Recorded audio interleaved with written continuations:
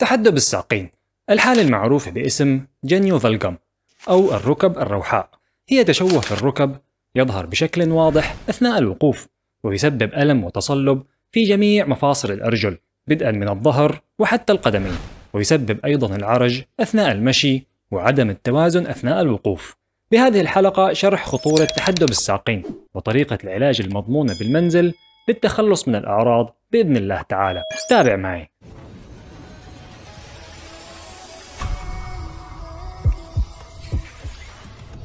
من الطبيعي أن يقف الشخص باستقامة وأن يستطيع ضم الأرجل مع بعضها.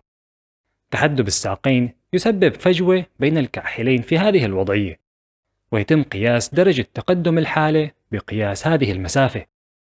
سبب المشكلة هو مزيج من الضعف المسبب للدوران الداخلي للفخذ وشد مفرط لعضلات الفخذ الجانبية وضعف عضلات الكاحل. وكنتيجة لهذا الاختلال الميكانيكي يقع العبء على الركب وتكون هذه الزاوية.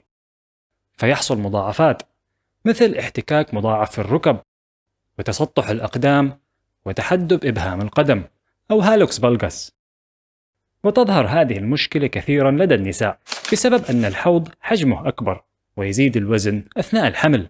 لا تقلق إذا لم تكن الحالة خلقية منذ الولادة فيمكن علاجها بخطوات مدروسة. تبدأ بتخفيف الوزن وممارسة تمارين علاجية. لإطالة عضلات الفخذ وتقوية عضلات الحوض والأقدام. بدون تأخير خلينا نبدأ ببروتوكول التمارين. التمرين الأول هدفه هو إطالة مجموعة عضلات الفخذ القابضة الداخلية أو الدكترز لكلا الساقين. وضعية التمرين. اجلس على الأرض وباعد بين الساقين بقدر ما تستطيع. وحافظ على مشط القدم متجها للأعلى. للقيام بالتمرين. انحني للأمام وحاول ملامسة كاحليك. توقف فقط عندما تشعر بشد قوي في منطقة الحوض من الداخل ونزولا إلى الركب. هذا دليل على قيامك بالتمرين بشكل صحيح.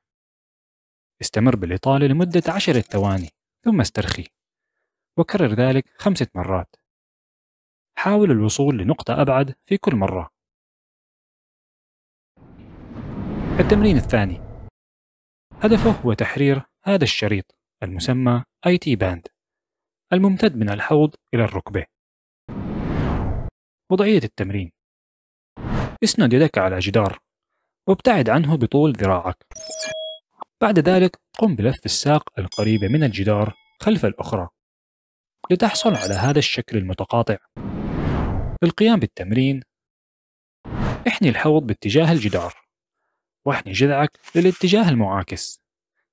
بهذا الشكل حتى تشعر بشد جيد على طول الفخذ من الخارج. استمر بالإطالة لمدة عشرة ثواني ثم استرخي وكرر ذلك خمسة مرات ثم انتقل لتمرين الجانب الآخر بنفس الطريقة والمدة وعدد التكرار. الآن ننتقل لتمارين التقوية والتمرين الثالث هو تمرين اللوح الجانبي الصدفي. بهذا التمرين نستطيع تقوية العضلات العميقة لمفصل الحوض. وضعية التمرين. نتخذ وضعية اللوح الجانبي برفع الجذع والحوض لتتوازن على الذراع والركب المثنية بزاوية قائمة بهذا الشكل. للقيام بالتمرين ثبت الكاحل وارفع الركبة للأعلى. بحركة دوران خارجي من مفصل الفخذ. بهذه الطريقة. بعد عدة أيام من إتقان الحركة ستحتاج لحزام المقاومة الحلقي Resistance Loop لإضافة مقاومة مناسبة لتقوية العضلات. كرر الحركة عشرة مرات لثلاثة مجموعات متتالية لكلا الجانبين. سيمنحك هذا التمرين الثقة بالثبات عندما تشعر بعضلات الحوض العميقة. التمرين الرابع. في هذا التمرين سنقوم بتقوية عضلات القدم والكاحل. باستخدام وزن جسمك. التمرين ببساطة هو الرفع على أصابع القدم. استند على الجدار ثم ارفع أحد الركبتين. وابدأ برفع وزن جسمك على أصابع القدم. بهذه الطريقة. كرر الحركة 15 إلى 20 مرة لكل قدم. التمرين الخامس والأخير أكثر شمولا لتتناسق قوة العضلات مع وزن جسمك وهو تمرين القرفصاء. وضعية التمرين. قف باستقامة وباعد القدمين بعرض الحوض. الآن أنت تعرف ما عليك فعله. اثني الركب ببطء مع فتحهما للخارج حتى تصل لزاوية قائمة بهذه الطريقة.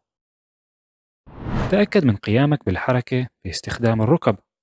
وليس من الظهر والحوض. كرر الحركة عشرة مرات لثلاثة مجموعات متتالية. أيضا مع إتقانك للحركة قم بإضافة حزام المقاومة Resistance Loop لزيادة قوة العضلات. وهذا كل شيء. مارس هذه التمارين لمدة شهر على الأقل. وسوف أضمن لك التخلص من تحدب الساقين بإذن الله تعالى. وفي الختام لا تنسى تشاركنا تجربتك مع التمارين في التعليقات. وأسأل الله لنا ولكم دوام الصحة والعافية. شكرا لك للمتابعة للنهاية. لا تنسى الضغط على زر الاشتراك بقناة سكون ميد مع تفعيل زر الجرس. وسوف أبقيك على اطلاع بكل ما هو جديد ومفيد لنمط حياة صحي. معكم الدكتور فارس وأراكم بالحلقة القادمة إن شاء الله. واعتني بجسمك لأن روحك تسكن فيه.